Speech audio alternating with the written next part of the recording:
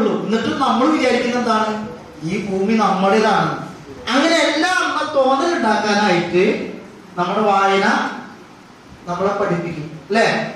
ഈ വാ എത്ര കണ്ട് നമ്മൾ വായിക്കുന്നോ അത്ര കണ്ട് ഈ ഭൂമി നമ്മുടേതല്ല എന്ന് മനസ്സിലാകും. നമ്മുടേത് മാത്രമല്ല എന്ന് മനസ്സിലാവും മറ്റുള്ളവരുടെ കൂടിയാണെന്നുള്ള ബോധ്യപ്പെടലിലേക്ക് നമ്മൾ എന്ത് ചെയ്യും? ഇങ്ങനെ വളർന്നുകൊണ്ടിരിക്കും. അങ്ങനെയാണ് നമ്മുടെ മനസ്സിനകത്ത് എന്ത് വളരുന്നത് കുറെ കൂടി ഇങ്ങനെ ഇടം കിട്ടും എന്ന് പറയുന്നത്. ഈ ഭൂമിയിൽ ജീവിക്കുമ്പോൾ